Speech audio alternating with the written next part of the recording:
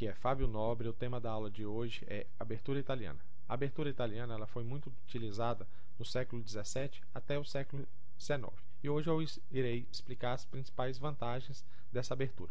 É, peão em E4, as pretas defendem também utilizando o peão do rei, cavalo atacando o peão do rei das peças pretas e o cavalo defendendo. A partir do momento que eu jogo o bispo em C4, caracteriza-se a abertura italiana preparando o rock para as peças brancas e a principal estratégia aqui das peças brancas é atacar o peão em F7.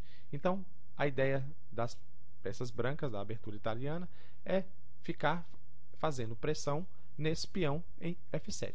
Também existem outras linhas é, para a, o avanço dos peões aqui no centro do tabuleiro, mas a ideia básica é essa: é pressionar o peão em F7 e até a próxima aula.